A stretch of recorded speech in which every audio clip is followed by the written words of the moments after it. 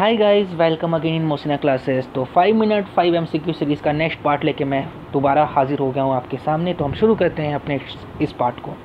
तो पहला क्वेश्चन जो आपको दिख रहा है, वो दिख रहा है आपको टीचर एजुकेशन से। तो बेसिकली ये क्वेश्चन जो है आपका क्वालिटी टीचर एजुकेशन से है। तो जब क्वालिटी टीचर एजुकेशन की बात होती है इंडिया के अंदर तो हमारे सामने सिर्फ़ एक ही नाम आना चाहिए, वो है आपका national council for teacher education NCTE यही आपका आंसर भी हो जाएगा। कभी कभी इसका फुल फॉर्म भी पूछ लेते हैं डेट्स वाई आपका एक क्वेश्चन और प्रिपेयर हो गया।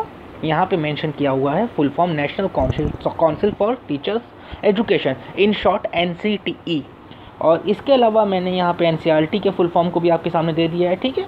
और AIU का फुल फॉर्म भी आपके सामने है और UGC का सबको पता है यूनिवर्सिटी ग्रांट कमीशन होता है। ये आपका पहला क्वेश्चन है, जो लिया गया है हायर एजुकेशन से और पेपर है आपका दिसंबर 2018 यहाँ मैंने ईयर भी मेंशन कर दिया है, आपको इससे हेल्प मिलेगी। हम चलते हैं अपने अगले क्वेश्चन के ऊपर। अगला क्वेश्चन आपका बोल रहा है पायलट स्टडी तो पहले समझ लेते हैं कि ये पायलट स्टडी होता क्या है। ठीक है? जब भी हम कोई प्रोजेक्ट करते हैं, ठीक है? तो ऐसा नहीं है वो प्रोजेक्ट हम एक साथ पूरे इंडिया में लॉन्च कर देते हैं।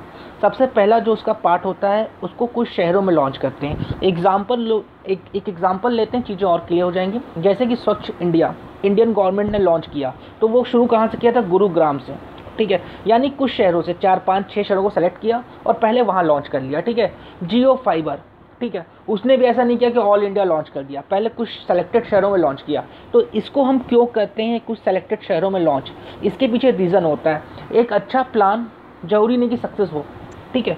मे भी वो फेल भी हो सकता है। इसी को देखते हुए, पहले हम देखते हैं वो प्रैक्टिकल है या नहीं। इसीलिए हम उसको कुछ सेलेक्टेड एरिया कुछ सेलेक्टेड शहरों में लॉन्च करते हैं। और या वो वहाँ सक्सेस हो जाता है तो उसके बाद उसको पेन इंडिया पे हम लॉन्च कर देते हैं।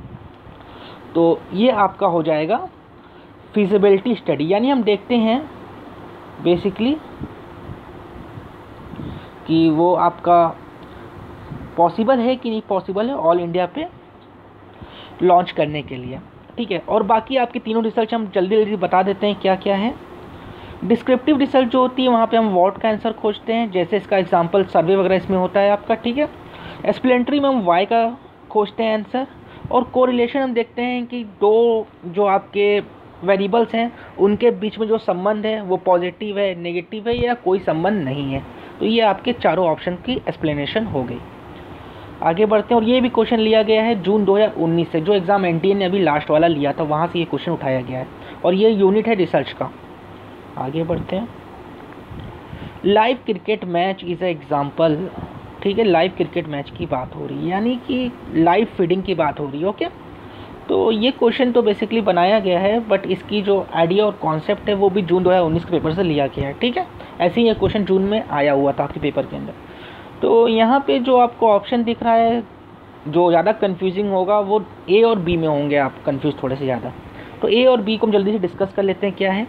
सिंकोरियस मीडिया, यानी जब लाइव फीडिंग होती है तो उसे हम सिंकोरियस मीडिया कहते हैं। जैसे आप हमारा ये यूट्यूब वीडियो देख रहे हैं तो ये कैसा एग्ज़ाम्पल ए सिंकोरियस मीडिया का है। क्यों? क्योंकि ये रिकॉर्ड पहले हो चुका है और दिख बाद में रहा है आपको, ठीक है? इसकी रिकॉर्डिंग अभी चल रही है, लेकिन जब आपको ये दिखेगा तो ऑलरेडी ये रिकॉर्ड हो चुका होगा, ये लाइव फीडिंग नहीं होगा, ठीक है? या मैं लाइव करता हूँ यूट्यूब पे, अपने चैनल के ऊपर तो वो कैसा होगा? वो एग्ज़ाम्पल होगा ए सिकोनियस मीडिया का, ठीक है? तो इसका आंसर क्या हो जाएगा? इसका आंसर ए हो जाएगा। ठीक है?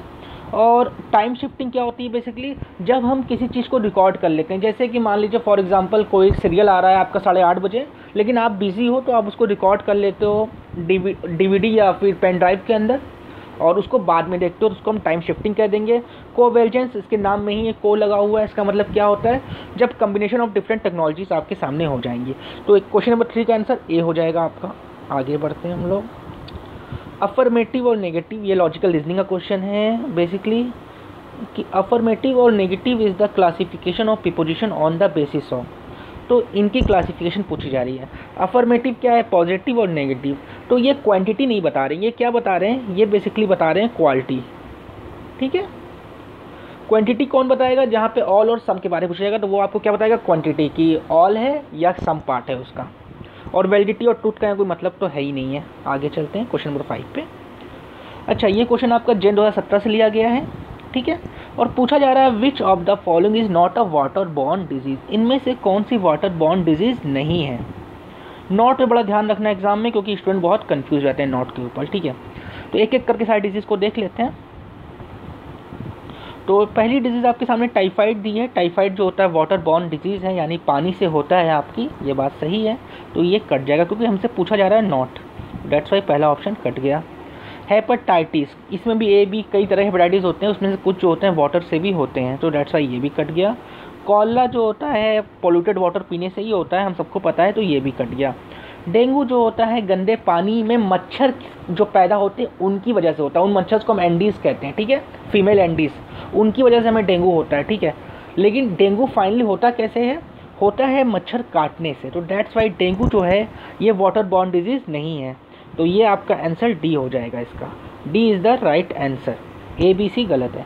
तो गाइज़ इस तरह हम डिफरेंट क्वेश्चन ला रहे हैं फाइव मिनट के अंदर five M C Q with explanation ठीक है? इससे आपकी प्रिपरेशन हो रही है। डेली आपको मिलता है सुबह सात से आठ के बीच में। तो गाइज़ मैं एक्सपेक्ट करूँगा कि आपको यह वीडियो पसंद आ रहा है तो वीडियो को लाइक करिए कमेंट करिए वीडियो को शेयर कीजिए अपने फ्रेंड्स के साथ और चैनल सब्सक्राइब नहीं है तो चैनल सब्सक्राइब कर लीजिए। Bye take care